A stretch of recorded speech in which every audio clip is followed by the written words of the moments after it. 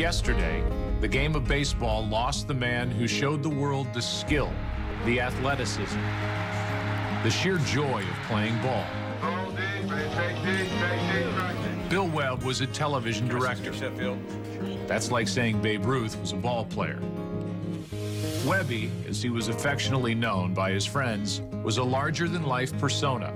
His knowledge of the game, his admiration for the players, mixed with an uncanny ability to read what was going to happen and to get it right, made him the greatest baseball television director in the history of the game. If you've watched a World Series or an All-Star game over the past 20 years, you've seen his art. You've seen Webby's brilliance. How we watch and know baseball today is due in large part to him. Bill Webb, television baseball director, a television immortal.